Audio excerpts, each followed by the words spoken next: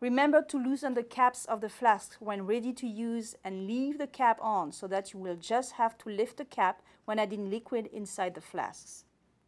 When you are ready to add prepared medium, either containing serum or specific additives to a series of flasks to which cells will be added, it is possible to do that at once by pipetting the entire amount of medium needed for the series of flasks into a big enough pipette.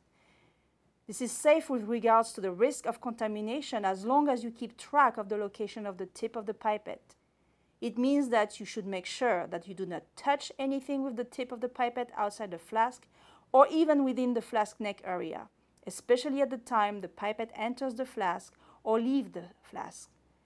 With experience in manipulating in cell culture, you can hold a small flask as well as its cap in the same hand, held between the thumb and index while adding the medium with the other hand. Add only the medium needed into the flask. Put the cap back on the flask and move to the next flask.